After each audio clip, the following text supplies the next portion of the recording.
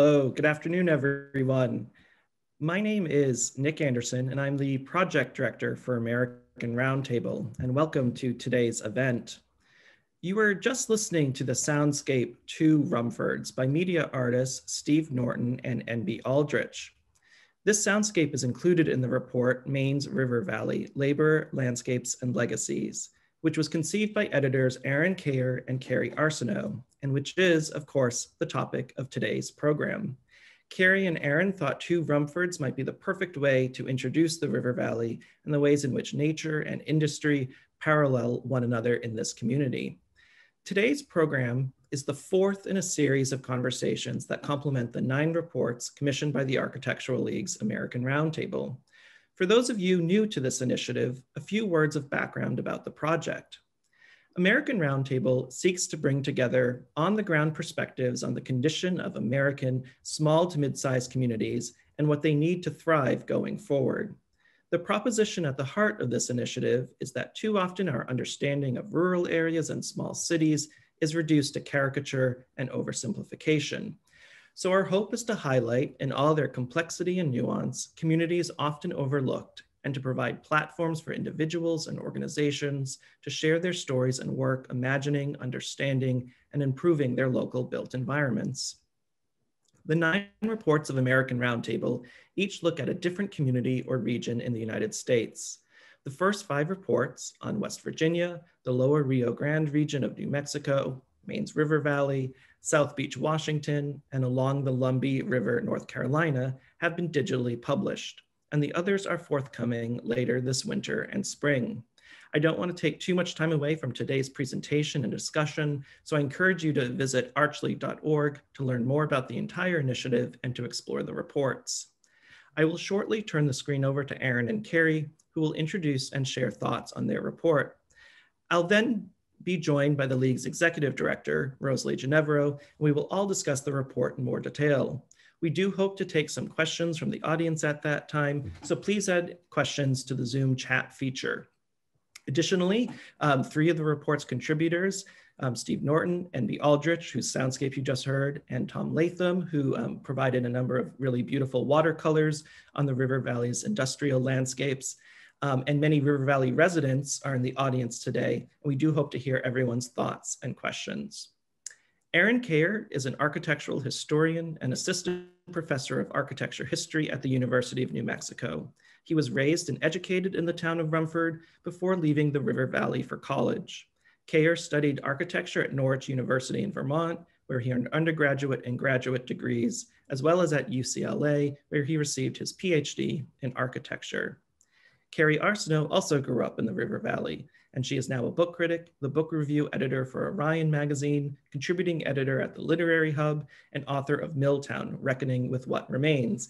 And here's a copy of that. Um, I highly recommend it. It's um, another look at the River Valley and um, is a really wonderful sort of complement to the report.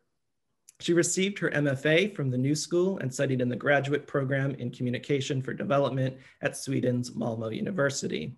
Her work has appeared in the Boston Globe, the Washington Post, Airmail, Freeman's, the Paris Review Daily, and the New York Review of Books.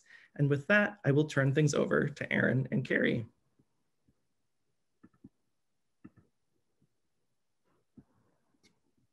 Hi, Aaron. Thank you, Nick.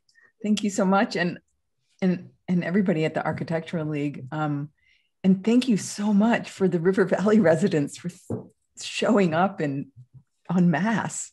Great to see. Thank you uh, yeah. again, also to, to, Nick and and and Rosalie and everyone for joining. Um, and I realize that today we'll talk about some some uh, histories that will be familiar to many of you, um, but perhaps not so familiar to others. So so forgive the kind of um, the, the kind of breadth uh, that we'll that we'll discuss today, and hopefully we'll have an interesting discussion after. Um, so we thought we would begin by just describing this this place, right? Um, Maine's rural, rural kind of paper mill community known as the River Valley, which is uh, my and Kerri's hometown, as Nick mentioned. Um, and it includes a cluster of uh, nine working class uh, towns in the foothills of Maine, um, through which this kind of meandering Androscoggin River runs. Um, and at first glance, the river valley's natural resources render it quite idyllic, um, I think, among American landscapes. So there are mountain springs that flow in tune with the moon. Uh, the river has a waterfall that has been described as, as having the largest vertical drop in the East, really rivaled only by uh, Niagara Falls. And the list kind of goes on and on. Um, and so, however, since the turn of the 19th century, though, the valley has um, been defined really by the paper mill. Um, the sounds of it, the smells of it, um, the money of it, um, which once was a, a, a, local family-owned um, mill um, and, and, business that is now owned by the Chinese company Nine Dragons. And so in a series of contributions in our report, which we'll, we'll talk about today, we consider and thought about the ways in which the politics and conundrums of industrial working class communities um, in the face of our, our current kind of post-industrial age, what that means, um, the, the kinds of processes and powers of resource extraction, um, of water and trees. Um, and we try to center the story of the worker. Um, uh, so how do mill workers and community members fight against these kinds of powers historically as well as, as contemporaneously? And how does the community kind of come together um, in, and in that togetherness define itself? Yeah, um, I'll just jump in for a brief second just to add a little bit to what Aaron said. And you know, part of it is is is fighting against this the, problems that the resource extraction have brought, but the other part of that is it's really a conundrum too for the people that work there, um, um, because they're people are making the very thing that could be killing them, which is paper, which um, is a, a very um, a toxic byproduct um, from bleaching paper um, has permeated the land, the air, and the people. So that part of that conundrum too is is also a conundrum for uh, Aaron and I because we're here we are reporting on a place that we're from, and it's something I did too in the past ten years in my book. Um, in fact, the entire plot of the book is me um, leaving and returning home to figure out many issues the same kind of issues that the Architectural League asked us to report on. Um, but what I found is, you know, this rather than finding an answer, I found instead a dialogue I was having um, with home and place and identity, which informs this report, which informed my book, and I think informed same with Aaron. Um, with each because with each departure and return, which was over a series of ten years, again, I sort of interrogate the question what questions what does it mean to be from a place that doesn't always love you back or what does it mean to be from the working class when you're not living in the working class anymore? And what does it mean to stay or leave a place that has defined you? And this movement between proximity and distance me leaving and coming and going recursive movement sort of underlined that distance between being underlying the idea that I was an insider and an outsider to this town. And I was also a witness and a participant in this town for 10 years and a critic and an advocate to the River Valley. And all this dialogue was sort of part of the larger conversation that hadn't been had or had been distorted over the years about the working class, about Acadians, which is um, my heritage, the American dream, the disenfranchised people um, who, who have been disenfranchised by resource extraction or exploitation, and also the larger conversation about Maine's nickname, vacation land. Absolutely. And so this, these kind of questions and frameworks really um, uh, thread together all of all of the contributions and all the report. Um, and so we'll start just today by, by kind of walking through the pieces of the report. So in the, the, the report about work, um, we focused um, uh, on the mill in particular. And in my section on uh, the work that I contributed about the work, um, the work on the work um, has to do with the meaning uh, and the kind of making of the mill itself. Um, and so the Oxford Paper Company um, opened its doors in, in 1901 um, and was established by uh, Canadian, Canadian industrialist Hugh Chisholm, um, as, as many in the, in the room know. Um, and it was founded there because of the river and the waterfall that was used for the power. and my, my report considers the mill as historian David Nye has described paper mills, which is part of this kind of uh, American technological sublime. And he uses this term to suggest that modern uh, industrial technologies such as paper mills elicit the same kind of reactions of wonder and awe and terror that are prompted by nature or that are found in nature. And so these, these kind of qualities are characterized by kind of abstract depictions of um, uh, uh, of the area, including by these aerial perspectives.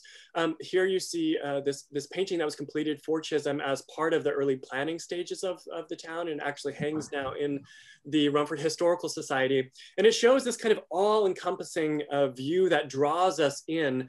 And so the mill becomes the kind of disciplining force of the community, like a kind of godlike figure. Um, and, and so it starts to kind of shape everyone's schedule, routine, and life is really organized around it. And so in the report, I try to think through like, how do we make sense of this grip, um, this power, um, and the material representations of it? Um, and so I became, as an architecture historian, might uh, very interested in the history of the paper mill. And I would say there's, there's so much more that needs to be kind of uncovered about the history of the mill.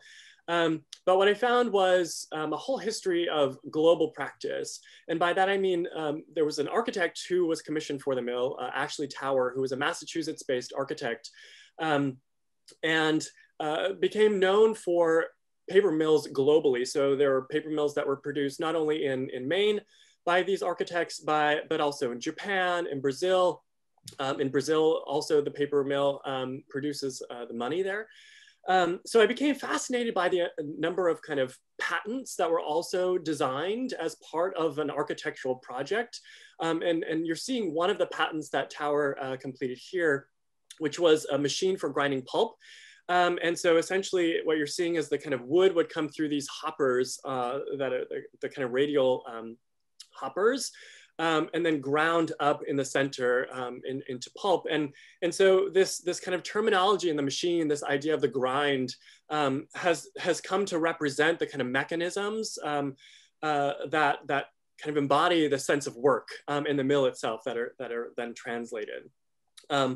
Um, interestingly enough, the the architect was also at the same time as designing paper mills was also designing prisons um, so, which I think is interesting when you think about um, the ways in which the machines quite literally uh, become mechanisms and dis disciplines of, of uh, sense of order.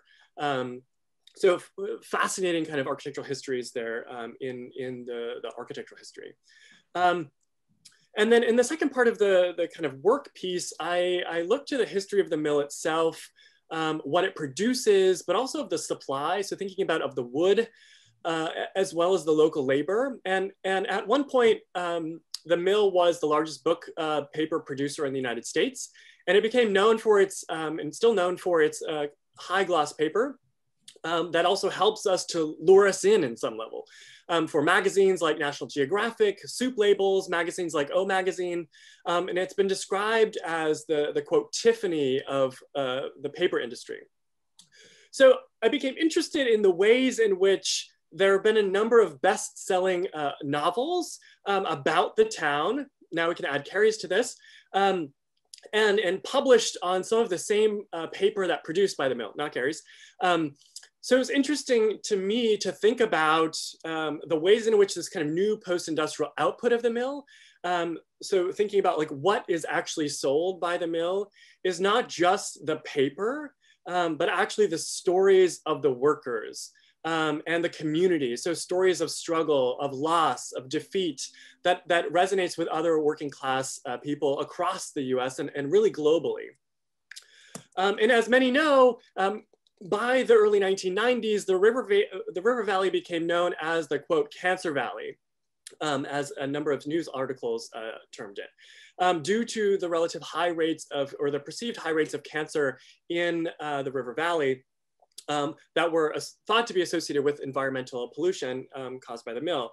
Um, and while it's been increasingly impossible to, to uh, prove a kind of environmental cause and effect, and a number of studies have, have been conducted that have proved really inconclusive, um, many uh, uh, community members have been concerned um, uh, and, and recently dismissed. Um, but as you can see, the, uh, the, this kind of glossing over the narrative um, uh, pertains also to, to, to demographics and, and health statistics. But you can see um, here the Maine's um, uh, cancer rates are consistently higher though.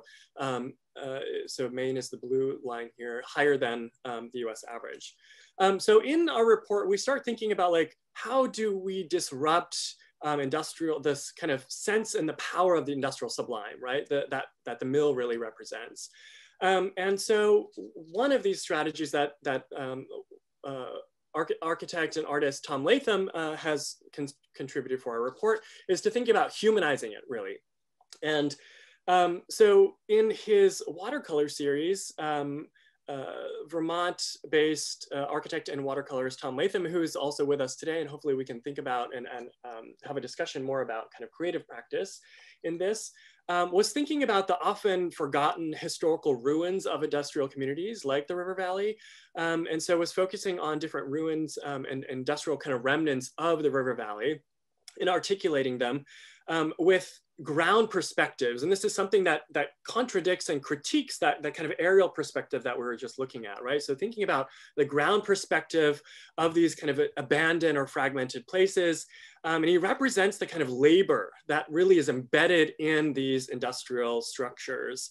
Um, through texture, through the play of uh, light, um, and through shadow, um, rather than, than kind of focusing on the mass.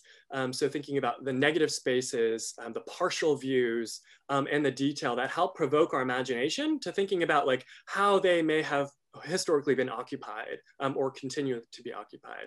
So here you can see um, just a kind of sample of some of this work, but there's much more to see um, if, you, if you visit our, our online report.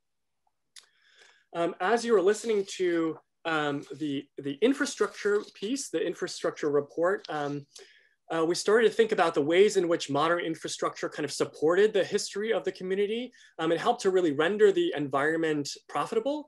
So the massive dams, the reservoirs, the bridges, the highways, all of this, this the kind of infrastructure that makes life and industry and business possible. And so uh, uh, and media artist Steve uh, Norton and, and B. Aldrich, um, who are also here with us today and hopefully can also speak about their, their uh, creative process, um, produced this six minute soundscape that you heard uh, while you entered the, the kind of Zoom land um, today. And what this soundscape does is juxtaposes two distinct, distinct sonic environments in the River Valley. Um, uh, uh, one is, um, one was located at the natural springs uh, uh, on the base of uh, Mount Zircon. Um, and the other was on the bank of the Swift River that um, lies underneath um, the Main Street Bridge that connects Rumford and Mexico, which you can see in these two photographs here. Um, and they recorded, made recordings on the same day. Um, the recordings consist of a single continuous takes of local ambience, um, as well as multiple simultaneous tracks of various sensors such as hydrophones and contact microphones. This is all um, more sophisticated than, than, than what I can speak about. Um, but, but the interesting thing in all of this is that what you're hearing is sound at some level that is communicated through the industrial material, right? And so the sounds of, of the environment are being communicated here and then composed in this, this soundscape. So these places really exhibit, as they argue, the distinct kind of conflicting characterizations of the river valley. Um, so the kind of remote and undeveloped areas like the mountains and the lakes and the streams represented by Mount Zircon, and then the kind of singular industrial presence of the mill that, that still kind of uh, dominates the, the, the, the valley um, and the river, uh, like under the bridge. Um, so what does this uh, mean? Um, uh, what does the community look like um, without the mill? And, and thinking about you know, a possible future or what might come uh, of, of the River Valley in, in years uh, in the future. Um, uh, artist Nita Elder um, contributed a series of incredible art pieces that consider how we represent the environment and thinking about industry um, and its relationship to environment. And so these drawings are based on archival photographs of the River, River Valley's um, early development. Um, and she argues that within historical cycles of construction and extraction um, that have defined the landscape, often these kind of legacies of environmentalism are often camouflaged or concealed. And so what she did is stenciled um, and erased the actual industrial development as a way to kind of reflect on the disruptions and the environmental erasures that have happened here. Um, and interestingly, she used industrial pulp mill, uh, uh, pulp mill waste for these drawings, um, which is a, a, kind of raw carbon powder that is a byproduct of, of these paper mills. And so many of the mills uh, kind of incinerate their waste and pulverize it into powder, which is the powder that she uses here. And she argues that it's, it's very, very messy. It's incredibly light, and, but it's also meant to kind of be blown um, away very kind of ephemerally. So really interesting. And, and I would also encourage you to, to, to take a look at that full series um, uh, also on our website. So public space, Kerri, take it away. Hi, I'll talk about this, and John Freeman can't join us today, but I have um, read this book a thousand times, so I feel like I can talk a little bit about it. Um, we just excerpted a chapter in this book um, called B is for Body, and you can read it or you can listen to John read it online. Um, but I'll just give a quick summary about what it's about and how it relates to public space. So, he writes in the beginning, we all need language to be spe- as specific as possible. This is actually he writes this in the last line so of his a to z assessment of the assault on language it's what this book is. Words are the basic unit of storytelling and if the possibilities within them are deflated then the stories we tell are equally as empty. And if our stories are empty so is our culture and that's sort of the premise of this book. Um, in 26 short essays on words from agitate to zygote, John invigorates a discussion on the meaning that words carry how we deploy them, how we can reinvigorate them, and the power of language as a tool for resistance. And that's where it enters our, our sort of public sphere um, aspect of this report. He begins with agitate. I, I, thought this was lovely too, because it kind of it, it, it references to what our, our, our artists are doing too in this report. So what he does is he begins with the word agitate and he builds upon each new letter and to incorporate the previous definition. So on B, he would incorporate agitate into the new definition of B, so that the last, so that by zygote, the entire alphabet has been incorporated into the book.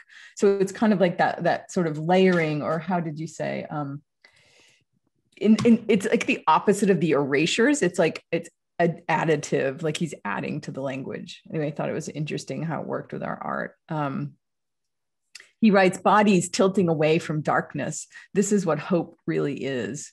As citizens, wherever we are, we have a right to the sovereignty of joy in our bodies. So the body, he is saying, can resist the larger bodies um, of government, of oppression, of fear. This cover, and I just want to say a comment on this cover, and then I'll be done. But um, the cover reminds me with this big letter A that stories or ones we create or resist against begin with that, just like one letter. Absolutely. And so this really helped us think through public space, especially in a, a, a community that is so driven by sport, right? Um, and, and leisure, but also at the same time work. Um, so, so thinking about um, uh, public spaces and, and the ways in which bodies gather more, more broadly was, was how we thought about public space. Um, so sites of, of resistance, sites of protest, and, and thinking about the, the, the way in which the body is, is used uh, to kind of fight back. And so um, so we fo- or I focused um, on the the strikes um, in 1980 and 1986 that um, that that took place in uh, Rumford in Mexico. Um, and there were a series of kind of anti-union sanctions across the United States um, during the 1980s um, and, and started to kind of question the, the efficacy of organized labor. Um, and Maine's labor strikes, and in, in particular strikes in Jay, Maine, um, as well as those in the River Valley, have actually been quite widely studied um, as pivotal uh, moments in US labor history. And, and so I find these kind of broader connections to be really interesting to think about, you know, like what is being gleaned or learned from the, the kind of history and the politics of these towns. Um, and so there are, many, there are many strikes um, over the course of the 1900s um, at the paper mill.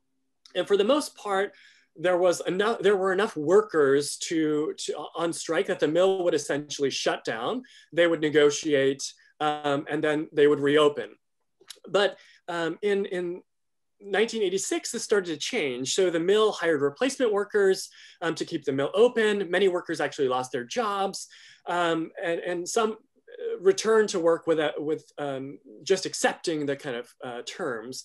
And the town became incredibly divided, incredibly violent. Um, but as many scholars have argued, there, there, was a kind of forced micro-organization, um, sometimes even against other workers in the papermaking and forest industry. So if we look here at one of the examples of, of uh, strikes um, in, in 1980, uh, you can see that some, some here strikers are, are trying to prevent work, uh, wood from being delivered to the mill. Um, but many of those workers, uh, even the, the, the, the uh, pulp drivers, um, are, are also precarious in their kind of um, contributions um, and precarious workers in, in their kind of, you know, detachment from, let's say, the, the kind of corporate um, structure of the mill itself, right? So um, uh, this has been referred to in, in historical and theoretical discourse as uh, a tactic of militar, uh, per, militant particularism, um, which is a kind of forced insularity that kind of corporate structures impose that starts to pit workers against each other, um, even though they're all kind of fighting for the, the same goal at the end of the day. Um, but it's very difficult to kind of get out of. Um, and, and, and what this does is effectively kind of suppress the development of, of, of, of kind of political or class consciousness. These, these things are, these, these kind of theories argue. Um, and so since then, there have been no, no kind of formal strikes um, in, in, uh, at the paper mill or in the river valley. Um, and this kind of kind of following this trajectory of labor discourse has been interesting also more broadly in Maine. Um, so in 2011, the um, Maine uh, governor removed uh, an 11 panel uh, mural that depicts Maine's labor history um, by Judy Taylor, who uh, is a Maine artist, um, and who allowed us to also uh, reprint this, uh, this piece in our report. Um, which was once on display in Maine in the, the lobby of Maine's Labor Department. Um, but it really draws attention to Maine's workers and it's intended to really celebrate um, the labor uh, history um, and the workers that really uh, construct and, and, define Maine.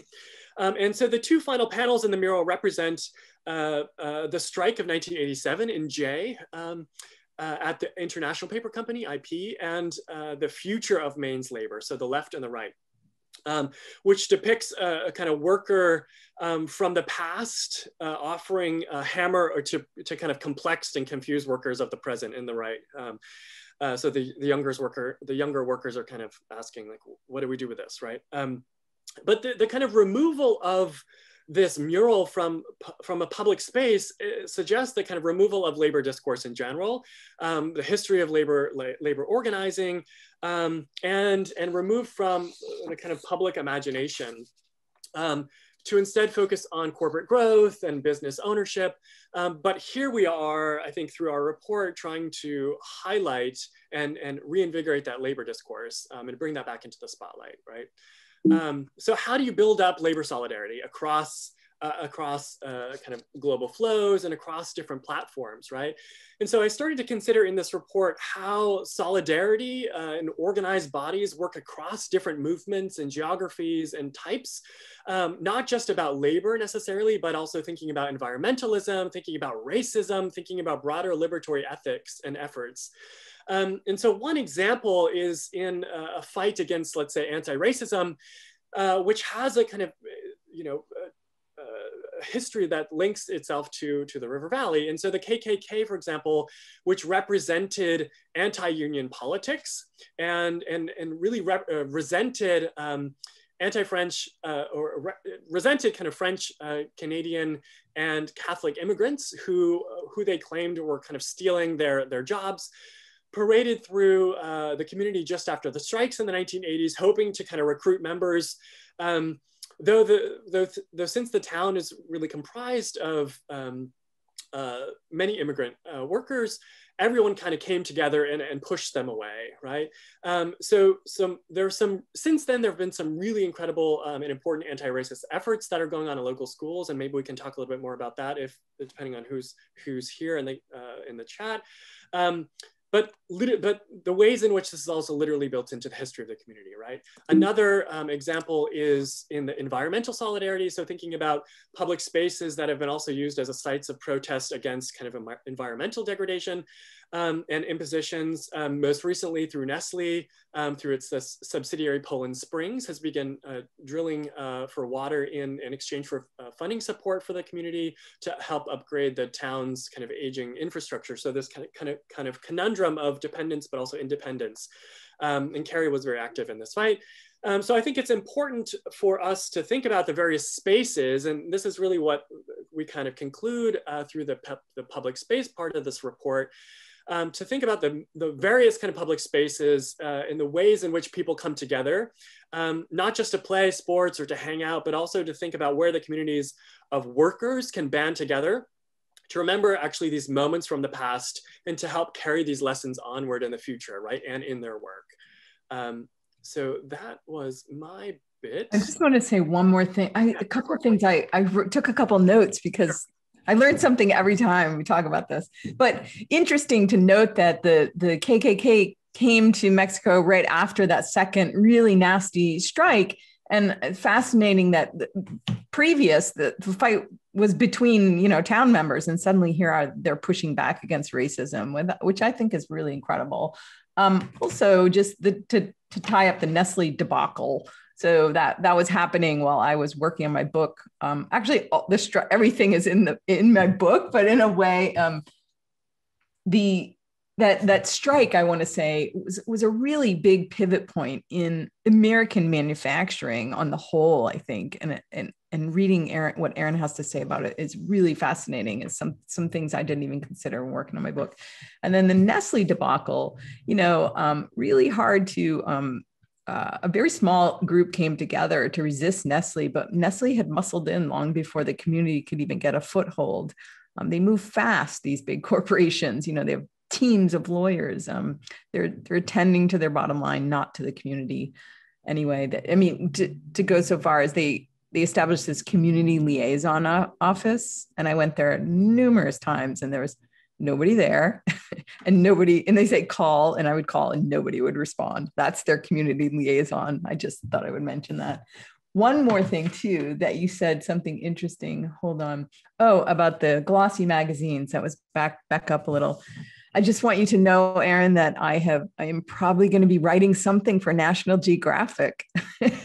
And i brought this up to them about the paper and they were like I said, maybe we could do a story on that. And they were like, no, that magazines probably won't want to publish that story. anyway.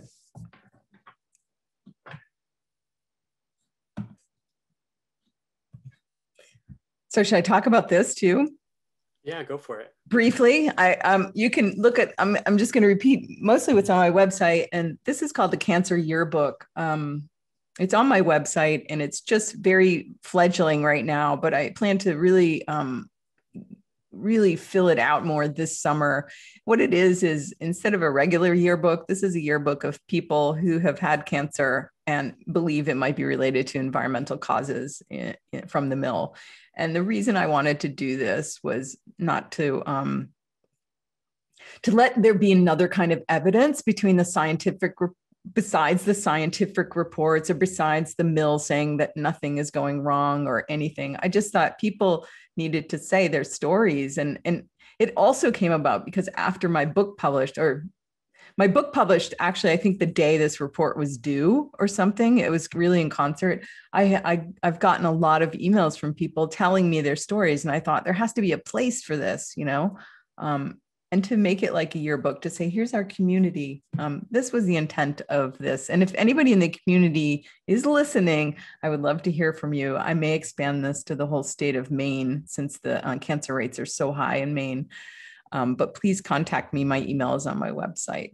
That's what this is. Um, and the last part was a um, I did a let's see how do we say maybe we can get into it in the questioning, but I did an, a, a new sort of environmental, a new mapping of um, memorials and monuments of, um, hold on, I'm just going to pull up a couple notes. Um, as I was working on the book and this report, monuments and memorials I, I saw, or they're always editorialized, no matter where you are, and they're an archive to our past, and our past is always subjective depending on who tells the story, right? So everywhere in the River Valley I went, I saw monuments and memorials to resource extraction. So my idea, like we'd see a, a statue of, of Hugh Chisholm or Paul Bunyan, which you just saw. Um, so my idea was to reconsider and reconfigure those monuments. I was a little bit inspired by Edward Burtynsky's photography, who he explores the residual landscapes and nature transformed through industry, the wonder and awe of nature. And, and it goes in direct contrast to the wonder and awe of the sublime that you were talking about earlier, um, which I didn't even make that connection until you said it out loud. So, um, so Burtynsky writes, and this is from his website, but I want to read it because I feel like it's so similar. And you can just look at this is an interactive PDF that's on the website. So I'm not going to go into detail about it, but I have some pretty crazy ideas. But I actually think I would like to see some of them come to fruition, like dressing up Paul Bunyan like Ed Muskie, um, who penned the Clean Air and the Clean Water Act. And he was also from our community. So, anyway, here's what Burtynsky writes his images are meant as metaphors to the dilemma of our modern existence. They search for a dialogue between attraction and repulsion, seduction and fear. We are drawn by desire, a chance at good living, yet we are consciously or unconsciously aware that the world is suffering for our success. Our dependence on nature to provide the materials for our consumption and our concern for the health of the planet sets us into an uneasy contradiction. For me, these images function as reflecting pools of our times. Um, there, that's all I'll say about that for now. So, Nick, we, we're ready to move into the discussion section. Okay. Um, I'm going to put, I'm Rosalie Genevro, and I'm going to um, launch the first question, which is a big question, and it's one that um, actually um, is relevant to many of the reports in this series. You paint, um, all of you, all of the contributors together, a very compelling, powerful picture of how, of both the, um, the very strong identity of this place um, and the very powerful presence of its history and what that history has meant for the health um, as, and the livelihood of people over time. What what do you see? And there, I there since there are many people from the community here, I'm I think it'd be interesting to hear from multiple people. What do you see as a plausible and viable, both economically and environmentally, and desirable future for Rumford and Mexico going forward? Because they um, the paper mill is operating um, still now. It seems, I, I don't know if this is accurate, but it seems that its its future is not hundred percent guaranteed, and certainly, you know, global um, demand for different kinds of paper and um, where paper is produced is is changed a lot over time. But what is the future that you want for Rumford, given given what exists in Mexico, given what exists there in terms of the both the natural and now the built environment of the place. Aaron, Aaron, can I can I start? That I just I want to say something that um, I feel like really the question is it part of this question is how and I was listening to Rob Macfarlane who's a, an author and he teaches at Cambridge. He was in a talk at Duke yesterday and it really made me think about this. He said how can we be good ancestors? And what he means by this is like how can we look at the future with retrospect? So cast your mind forward to look back you know um, he asks he he said he asked the students to do this and i ask everybody here to do this like imagine you're sitting here now looking back on this moment like you're in the future looking back what would you see and how would you judge what you see and so he said this exercise allows us to be more empathetic to our future and our past. Like, so he, he if he asked me this question, I would say, don't engage with colonial capitalist efforts. Keep things smaller, more equitable. I mean, idealistically, we need we need deep systemic change, especially you know in the way we engage with land. For instance, I lived in Sweden for two years, and uh, land use rights in Sweden is an example of how common access slash common rights, which is also something Rob talked about yesterday, bring common responsibility. So in Sweden, you can basically go, you have a right to land use as long as you respect the land. And everybody has that sort of agreement to do that. And so that that common access goes along with common responsibility. And that's something we could really use here in this town or in America. Um, and part of my idea behind that environmental map that I was just talking about too is to make people confront and make visible the problems that have arisen because of our historical engagement with the land. Because if you confront something every day, it becomes hard to ignore, especially if it's as big as Paul Bunyan. Um, so that's that's that's I have a lot more to say, but I just you know that's a start. I I think that's how I'm looking at it. You know, I mean, on a, on a more specific note, can the industrial use of the buildings be kept? Can it employ people in more sustainable, environmentally friendly industries? Probably, uh, even though there's a Superfund site lurking under the mill.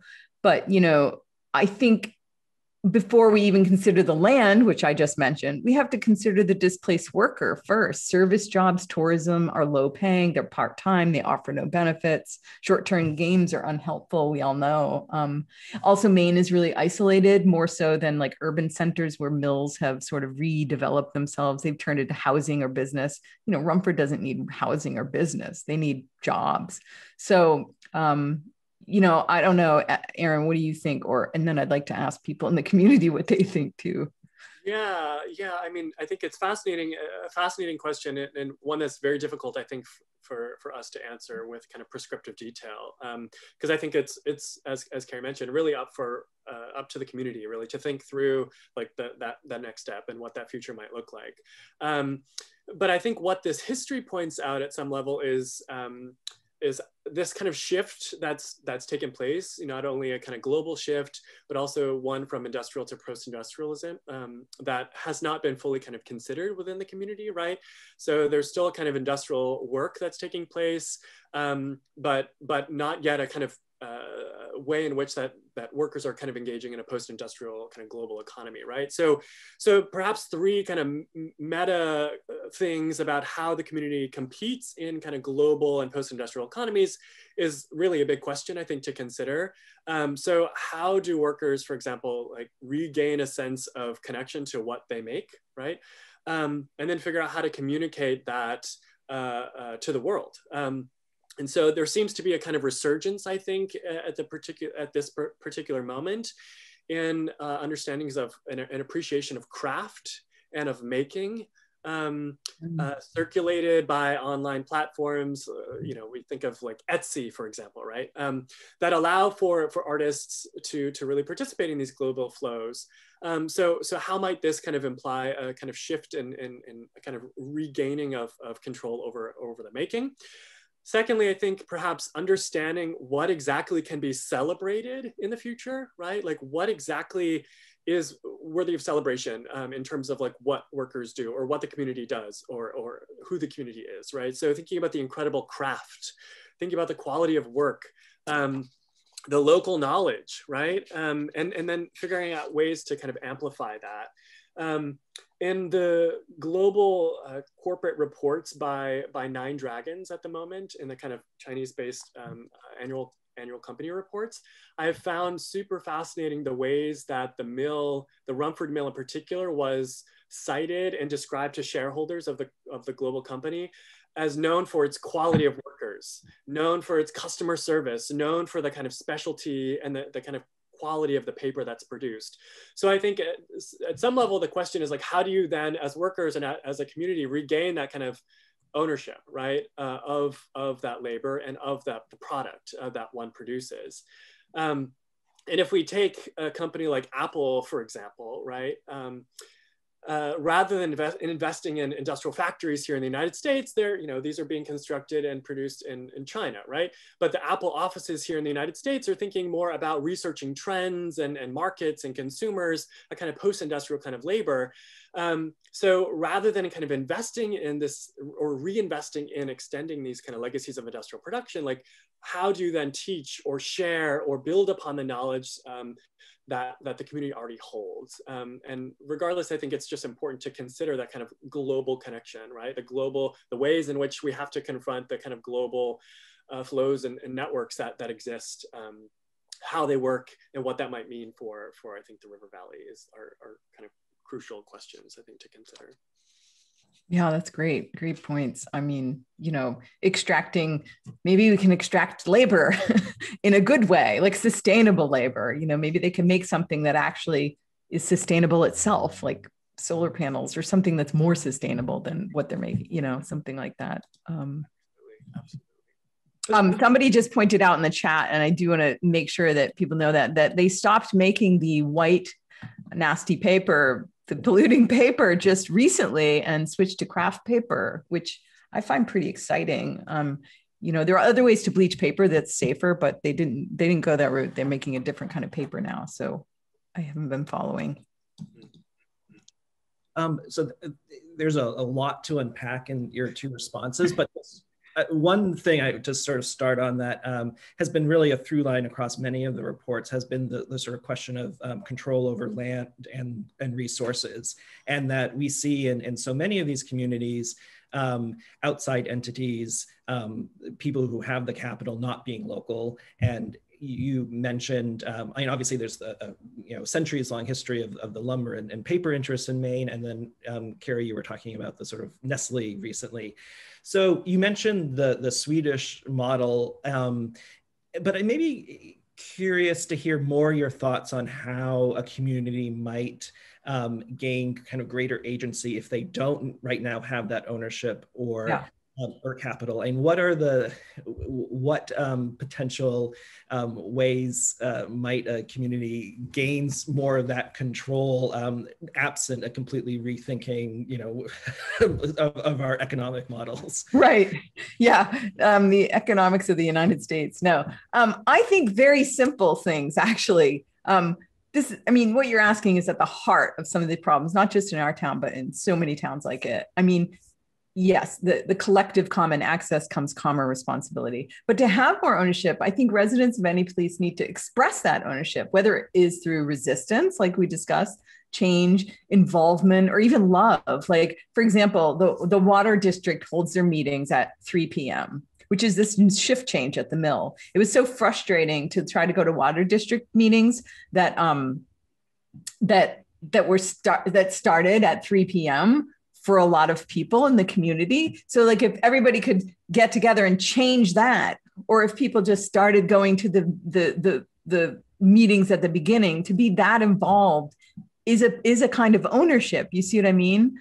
So that is one way. Um, you know, another way is just small actions. You start you start small. You start at the school. I know the principal, school high school principal is on this call, and maybe some teachers. But like, stop using bottled water at the school and then maybe the maybe it will extend to like other public spaces and then maybe it will extend to the town and then maybe it would extend through the state. So like really small actions and really small movements. You don't have to be an activist to take ownership. You don't have to be marching or, or publishing. You could just go to meetings so you know so you're informed. Or you can you know if you really want to be you know run for town office. You know those are the really simple ways that people i think can take ownership. Does that does that help answer start answering the question?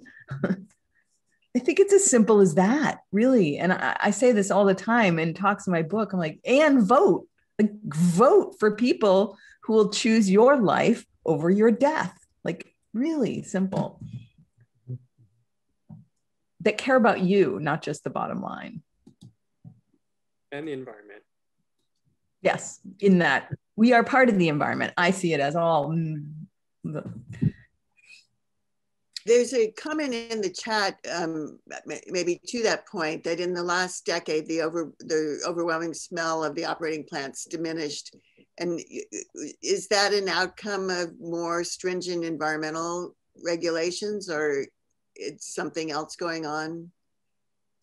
I mean, smell is a really good indicator of toxics in the environment, but I wouldn't say it's the only indicator. I mean, there are there are things that are um, happening now. There there are certain, um, for instance, and this is all legitimate and all legal and all under the regulations, but they the mill does burn um, used tires for fuel to generate fuel, but um, a lot of the reporting I've read, and I have to dig into it more, that um, because of the way tires are defined as a special fuel, they kind of subvert a lot of the Clean Air and Clean Water Acts um, um, regulations. So they're they're they're different. They're not considered a waste, and there's just a lot in the definitions. I mean, going back to you know John Freeman's book, the definitions of things um, matter. So it was something I started to research and got really uh, down a rabbit hole because it was hard to find to, to actually track the wording of what that means. So I wouldn't say that I would say that a lot of things the surface has been cleaned up, but you know, if you went like this in the river, the the the chemicals and the and the toxics are all still there. You know, um, you still can't eat the fish. Really, you shouldn't eat the fish, and all that stuff goes into the Atlantic Ocean. So I don't think it's gone by any means. I think it's just lurking there. um, and it's in our DNA. Every single one of us on this phone call has, um, you know, what I found in my book is that uh, there's enough carcinogen in the food supply, which is um, a lot of the stuff that's created as a uh, byproduct of paper making is in our DNA, and there's enough carcinogens in one hamburger to make us all sick. So it's not in the past, it's in our bodies.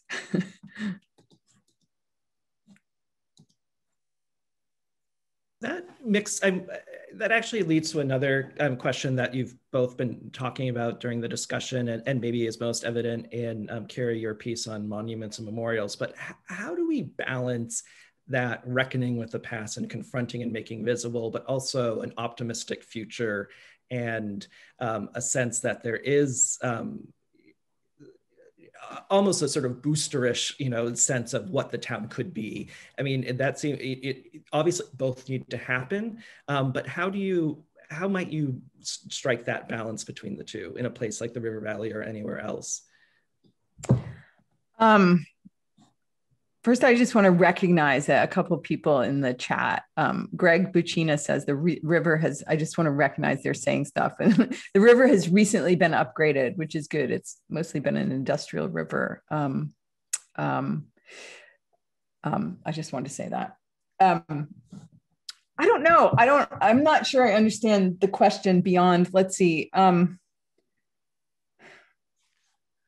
well, I think you like, know go ahead. Maybe speaking to the question of like representing history in the future. Um, and, and one of the lessons that comes out of the strikes is that, um, you know, that with each strike, there was kind of a loss of what happened in the last last strike. Um, mm-hmm. and so a, number of scholars have, have written about, especially in Jay, um, how, you know, the kind of the critiques to the strike were, were the kind of insularities, right? Like that, that if, if they would have, you know, perhaps engage with other kind of networks of, of, of, solidarity groups beyond just the kind of immediate site, you know, regionally um, or a, across industry lines, that there would have been a kind of greater strength uh, in solidarity. And so the lesson there is that the kind of history was lost and then kind of you know reproduces itself over and over again.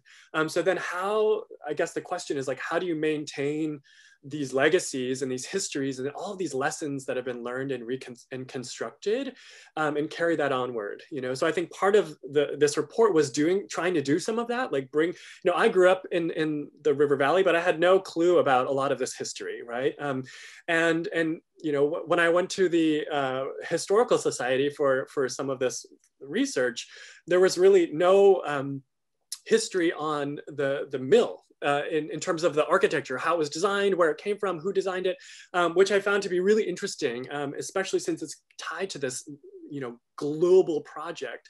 So how can we then think about like the ways in which this community like is a microcosm for other working class communities but also fundamentally connected to other communities um, you know uh, in in these kind of common core uh, struggles? So i think Um, I think you said something really interesting right there common core. I mean, you mm-hmm. know, it, neither Aaron and I knew about any of this until I'm, you know, I'm 53 years old and I'm just learning, you know, I just in the past 10 years have learned about this history. So maybe that's what needs to, you know, ed, not just education, but just like knowledge, like historical knowledge that is, that is more expansive, you know, like even, even if you just take so in the schools, you know, we used to had to do this Maine notebook. I don't know if you had to do that. We had to like do this big report in junior high about Maine.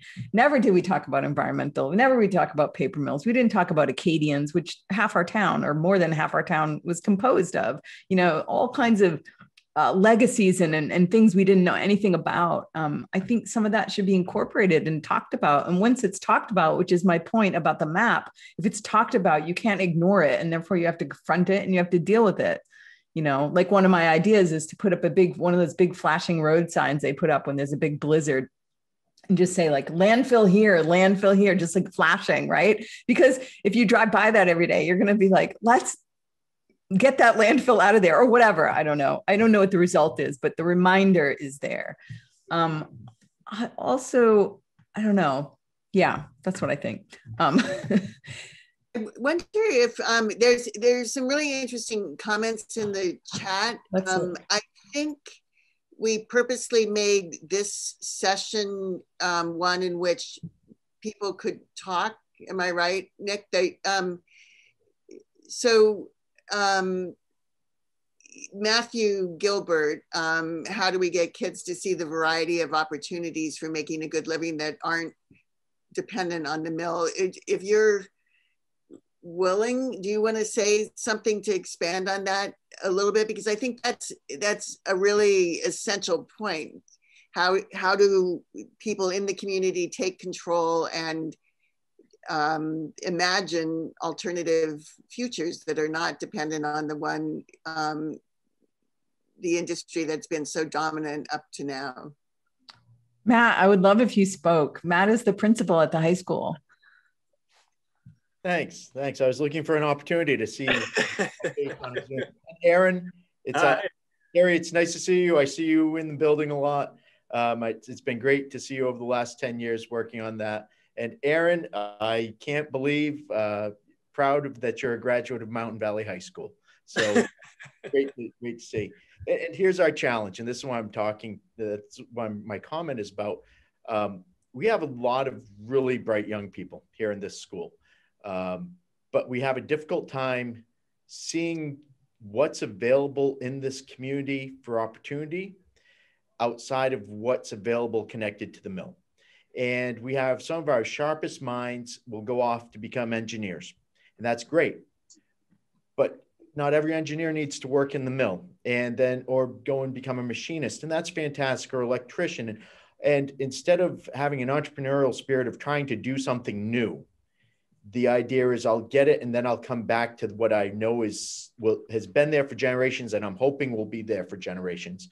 And so we have this big magnet that brings everybody that the kids that that want to come back it brings them back to that location and not creating our next our next evolution of whatever Rumford is. And I, I say that I've, I've been working here for 20 years and I grew up in Jay. So I, I feel like I, am a Milltown. There's, there's a lot of DNA, Milltown DNA in me. Um, and I think that when you have that big anchor employer, there might not be you know the there might not be the the company store anymore but boy it feels like there is sometimes. And everything is connected to that. So and then the other thing that's always amazed me about rumford maine is this is a great community with all kinds of resources for the people in it but the people that live in it don't value it and whether it's a world-class skiing facility that we have uh, the the um, Hosmer Field Complex. We have two beautiful rivers, an incredible amount of mountains and streams. It's it's a picturesque area that that you know that it just isn't valued the same way that it would be if it was 30 minutes south of here.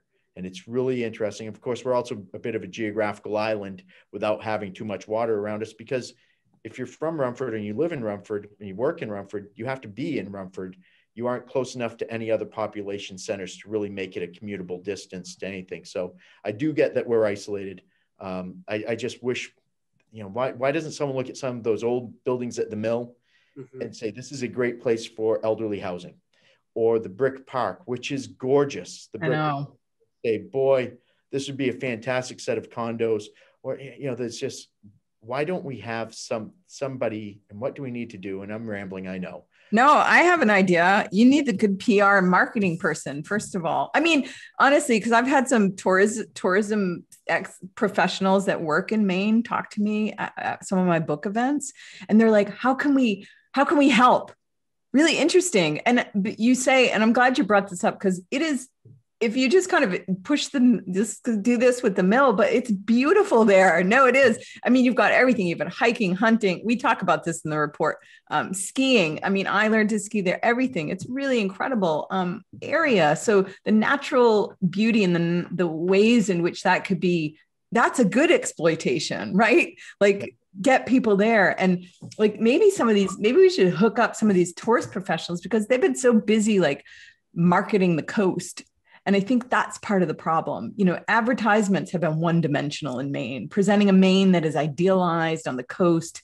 And if they do that, then they put places like like Rumford, who already isolated, they put you out of sight and out of mind. It's like how they, it's like how garbage is treated, out of sight, out of mind, right? Um, and, and if it, and if it's out of sight, it becomes invisible. And invisibility is the biggest problem that Rumford has. And so part of this report and part of my book is to say this is not it's not invisible you know and it's not to say crit you know some people have said oh it's critical. It's not. It's to say these people are not invisible. This town is not invisible. They're beautiful wonderful people living here in this beautiful place. Like let's pay attention. So i think attention is half the problem. And then real world you know solutions obviously too. I mean the only yeah, there has to be, like Aaron and I were talking about, there has to be some kind of reimagining of the industry there, which I think could be fantastic because you already have like really hard workers, loyal workforce, really good people, sense of community, sense of family. You have it all. Just have a, like attract an industry that's not extracting like Nestle or not, you know, or like the you know something that's giving something, and that that's where you need to like apply your economic resource direct uh, development director or somebody like that or maybe work in concert with bigger organizations in the state or even federal programs. I think it could be really amazing. I mean and as for kids just in general i can say the, the reason the only reason i ever left maine was because i went on a trip to new york city and i thought i saw something else. Like i think not i'm not saying you want people to leave. You want them to leave and come back and bring you know you don't want the brain drain but like i saw something else and that something else wasn't available in rumford. If you could you know work with i think bigger organizations to to help reimagine it i think it's the word imagination which goes along with the advertisement in a way. What do you think aaron yeah i agree. I mean i think that that sense of beauty comes with being removed at some level right? So now when, when we return you know, I, I see the, the community through a different set of lenses um, and, and really start to appreciate, you know, I think I've hiked more since I've left the community than, than I did growing up there, you know, or like really done a lot of kind of appreciative kind of acts in, in, in nature. Um, but I think to your question about, um, you know, encouraging students, for example, is, is an interesting one. I think that I struggle with also as a, as a teacher in New Mexico. Um, and, and I think it's interesting to think perhaps about the ways in which the mill isn't just a place to work, but also represents a number of kind of histories and lessons about the world, right? That can perhaps be embedded in courses, right? And so when you look at the mail, you see, okay, there's an engineering uh, uh, uh, kind of aspect, right? There's a kind of uh, whole history of capitalism in the 20th century. There's a whole history of labor politics. There, so I mean, when we think about like U.S. history, teaching U.S. history at the high school level, like how can we perhaps, you know, use the the the kind of the back door really um, as part of uh, uh, encouraging or exciting these these different channels and opportunities for students to, to get into right? Um, because I think there's just so much that that's embedded in the mill um, and the community um, that that offers lessons for students and that might be you know exciting or encouraging.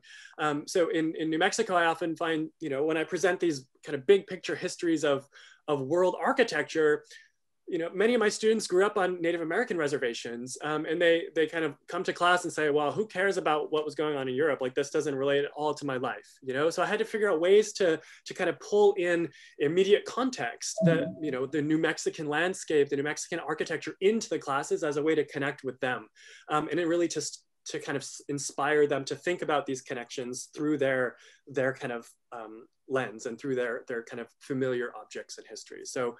Um, in other words, teach our report, Matt.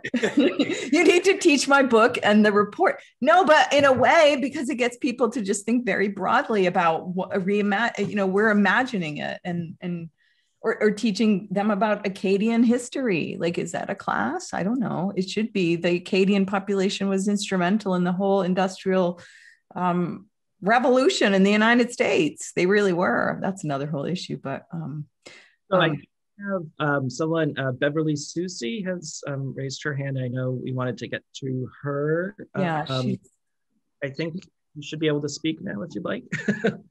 Hi, I'm not sure you're all going to want me to speak because I have a lot to say. um, hi, Kerri. Good to see you. Aaron Cayer. Um, is it your family that lives up on Linnell Street? Uh, my grandmother um, she lives down the street from me, and I know your whole darn family. So, oh. with that being with that being said, I love your family, Kerri. Good to see you. Nice to meet and see everyone here. Um, a couple people know me, so I'm an online writer for um, a, a, publication that has a little over 2,100 people in the 10 towns of the River Valley called River Valley Voice. And there's so much about this discussion. I'm glad that we were all on mute because I was over here screaming at you. Um, there's so much about this that really that I disagree with, and that really speaks to me. And I've made a whole page of notes. And um, email me. No, I, I will. I will. But I try to start off with Rosalie's question about things that we can change. And, and one of my constants is every single day I write about only seeing the positive. Now, I left two days after high school in 1980, and I never looked back and then found myself back in the place that I started about five and a half years ago. So, with that, I only ended up in southern Maine, but again, another mill town um, that has transformed itself after a very long stagnant period into one of the fastest and upcoming um, cities in southern Maine, the Biddeford Saco area. So, yeah. when Carlo was our town manager, Carlo Puiia, I used to um, invite him down and send him information all the time because for me, I saw what was happening there. Um, I worked on Main Street America. I was witness to big corporations like Nike and West Point Pepperell leaving the area. Um, and so I watched everything kind of shut down and then get reborn. I see that happening in the River Valley. And a couple of things that I'm taking personally today are the stigma that comes with the past um, right out of the gate. Cancer Valley, you know what? That is so far back there that I don't want it to hold a place here anymore. And while we need to recognize history, I think that that stigma, along with Aaron Cayer, I screamed at you too, um, about the, the strike. I think that we have to stop talking about those things. Do we need to recognize them in order to move forward? Yes. Do we need to know about those um, for, for sickness and cancer? I'm a cancer survivor. I can't rule out that that didn't happen in my childhood because I too have the DNA. Um, but we need to kind of put those subjects on the shelf. Um, as for the water study, Kerri, that we need more recent information. Everything is so outdated. I swam in that river. I, I swam there every single day in the summer for the last five and a half years, and I was blown away. Would I eat the fish out of there? Well, I wouldn't because I wouldn't catch one. That's my only reason. So um, there's there's so many things. Okay, so to touch on a couple of other things, the mill really isn't the focus anymore. We have a town of um, roughly 6,000 people with maybe 800 of them in the mill. And that just kind of brings that, that scope of where our focus is, is just a little bit broader. And to speak to the economic developers credit, we do have a PR person and we do have all of the buildings downtown have been sold, they're being gutted, they're being remodeled. We have money um, available from the community to help make that happen. The tech building, which was part of the, correct me if I'm wrong, the number 10 paper machine, that's been sold to a private entity and it's getting developed. Um, and, and I see a lot of quintessential small businesses coming here. And what it reminds me of is how Eastport has transformed itself. Eastport is up in Eastport. It's it's one of my favorite places, but it's a little small town where there really is no place to go for a job. So when you have that, how do you keep your kids here? Matt, I'll tell you how. You teach them about finding their passion. You teach them about loving the simplicity of a good quality of life. And you prepare them by way of trade school, which Region 9 love that place. That's a whole other discussion. You, you send them over there and you give them a trade, and then you teach them how to start a small business. That is how you keep this town moving forward um, in a really healthy in a really healthy way. So um, I would say that what I observe right now is that more people are getting excited about what they're gifted with and they're opening stores that are they're not specifically co-ops but they're working with each other to share each other's goods and it's everywhere it's not just the bakery who's sharing um, her cake with the restaurant and the restaurant advertising the cake. It's the artists at the tattoo shop sharing their um, advertisement at our fair. So there's lots of little, um, I don't know what you say, pockets of people that are really making a difference on the down low.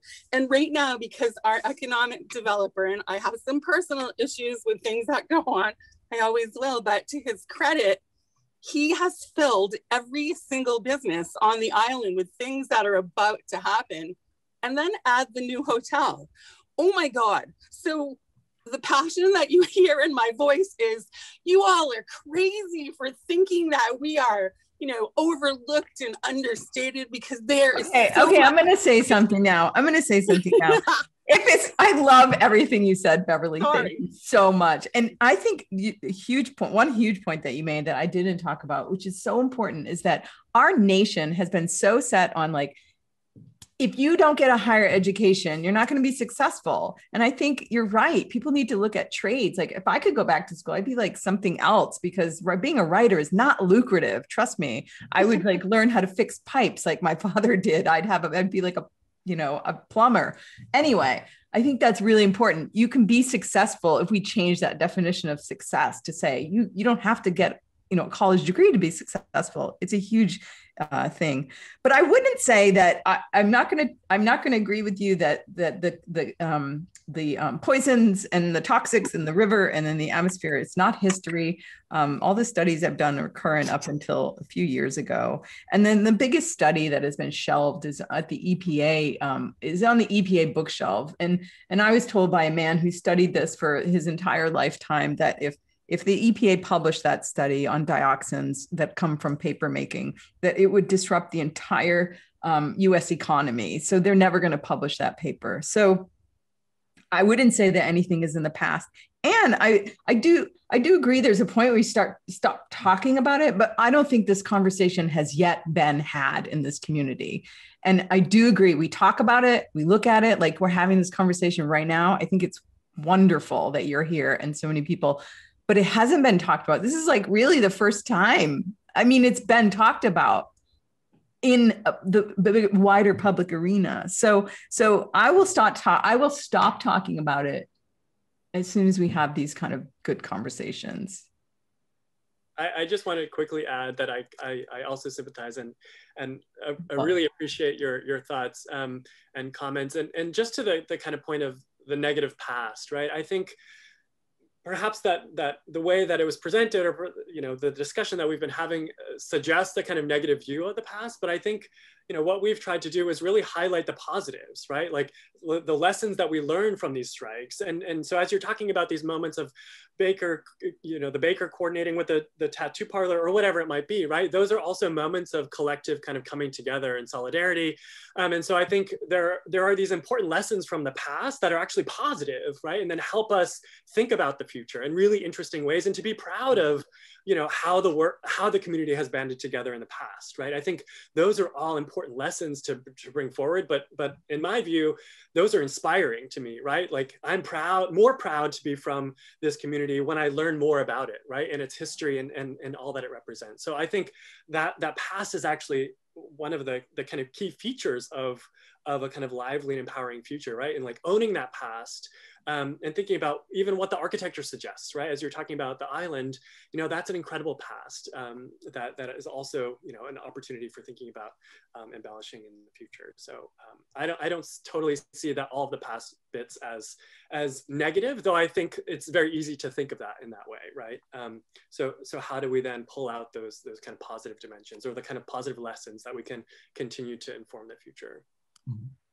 I think that's actually a really wonderful way to, um, in some way, to describe the American Roundtable Project, In that you know, it both our our goal through all of this is both to um, reckon with the past and to learn from it and to confront it, um, but at the same time to look forward and to do so with optimism. And I don't. The the the point of this entire project is to um, listen and to learn from communities um, to think about how we can improve futures and um, to already harness all the amazing work and energy that is happening and that is um, what sort of the original premise that is often um, overlooked. So this and that inherent tension, I think, between the two is actually very much um, baked into this and um, something that we are hoping to explore and celebrate. So we are um, kind of reaching the end. Um, obviously, we could go on for hours, and there I know there are so many um, really fascinating questions in the um, chat still, which we will be sure to share um, with Aaron and, and Kerri um, and folks. Um, just the, before we um, leave, I just wanted to see if um, Tom, Steve, or NB had any thoughts that they wanted to add. I think one thing that's been really interesting is the view that artists bring to understanding a place. And I think through your work, you all made us think and listen to um, the River Valley in, in fresh ways. Um, so I just wanted to make sure you had a chance to say something if, if you would like to. Well, I, I guess I could start. Um, uh, it, it's been interesting to, to look at, at the remains of, of the industrial, our industrial past, and to see how they're all hiding in plain sight. There's some really beautiful things out there that we just never see. We walk by them every day, and and they're there. Um, it, I, you know, I'm encouraged that okay, there's been this incredible rape of the land, but the trees come back. they grow. and and you know um, uh, and, and, they do uh, clean the air they clean you know they clean the water. Uh, and uh, I think that we you know that we have to look at at at, at all of this this stuff. The uh, um, that's what your art does. It looks at things like very carefully which is what's wonderful about it. You yeah well, you're I, looking at it literally. I, I, I love yogi berra said that you can see a lot just by watching. That's why we need art right there. And listening perhaps right steve? Listening helps too. We um uh, we made that piece uh, last summer. Um, and if you recall, last summer was uh, a little bit of a dark time. Um, and so uh, if you if you listen to the piece, you find that it goes in um, perhaps what Beverly might uh, describe as a pessimistic direction, um, where the you know the idea to contrast um, a, a relatively unspoiled uh, sonic environment with um, with the the downtown traffic in the mill. Um, uh, we we chose to to to to make it go in that direction, but um, but you could easily imagine listening to it and then sort of flipping it around in your head uh, and going the other way, and that's certainly um, uh, what is uh, plausibly more hopeful right now. Um, uh, when you think just you know perhaps we're on the backside of the uh, the pandemic, perhaps um, we'll start to see some some uh, good uh, environmental action um, taking place uh, from a regulatory perspective, which was positively not the the case last summer. Um,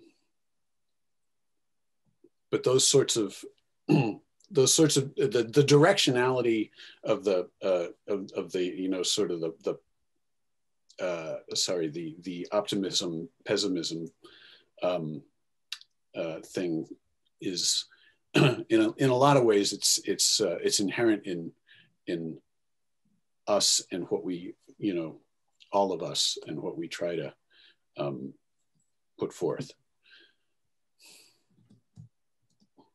Thank you.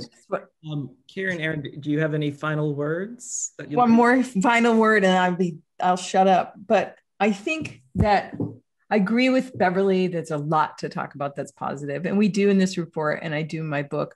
But I also think, but not talking about the problems that it creates the illusion that everything is okay, and everything is not okay. Um, so we need to take both of those things into consideration.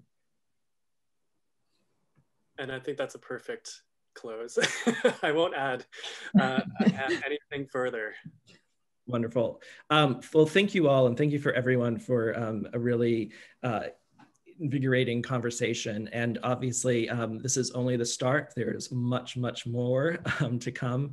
Um, and we hope to continue discussion um, both about the River Valley, but also all of um, American communities across, um, across the US. please visit archleague.org to see the full schedule of upcoming programs and to read all the reports. And we very much hope to see you all again soon. Thank you all for joining us today. Thank you you, Nick. Thanks, Rosalie. Thanks, everyone. Take care. Thank you.